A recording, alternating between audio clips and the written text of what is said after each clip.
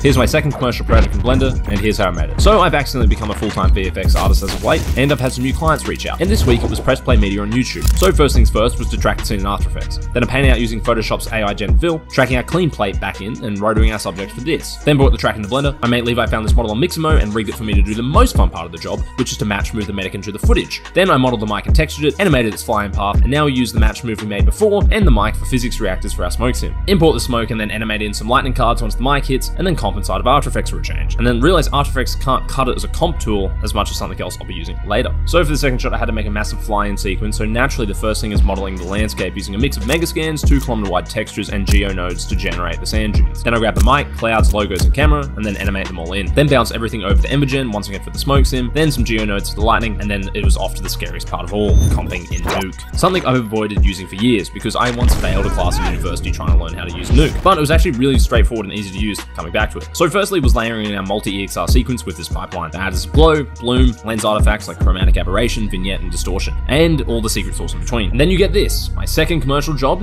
in Blender.